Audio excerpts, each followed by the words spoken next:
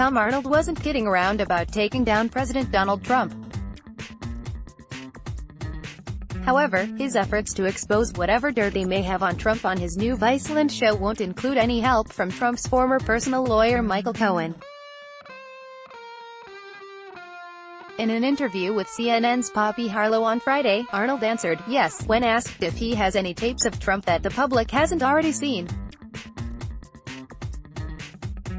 Have lots of things, he said of the tapes expected to be used on his new show, The Hunt for the Trump Tapes.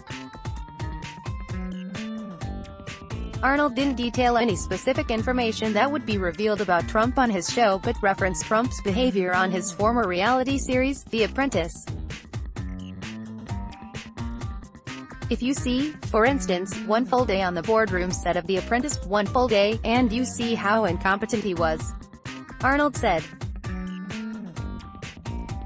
The comedian also remained mum when asked about Cohen's cooperation in the current investigation of his financial dealings.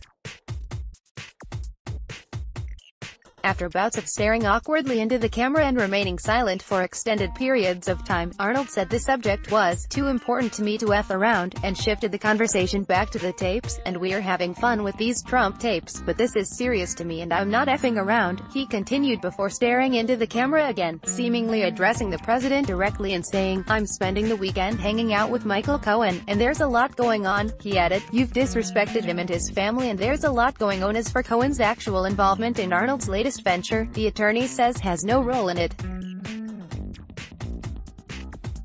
Arnold later clarified his comments on Twitter on Friday, writing that Cohen never actually told him they should team up to take down Trump. Michael has enough Trump on his plate. I'm the crazy person who said me. Michael doesn't get paid by Vice.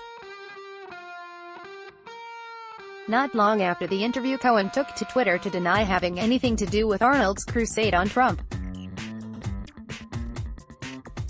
Appreciated Tom Arnold kind words about me as a great father, husband and friend.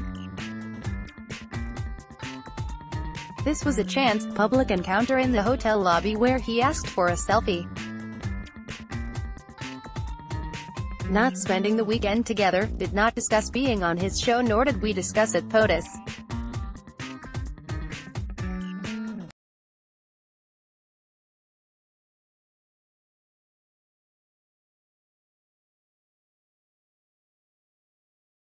Speculation on Cohen's affiliation with Arnold's show first surfaced after Arnold posted a photo with Cohen on Thursday and later teased their plans to take Trump down together, while appearing on NBC News on Friday. During the interview, Arnold also claimed Cohen, who is currently under investigation for his financial handlings, had all the tapes on Trump.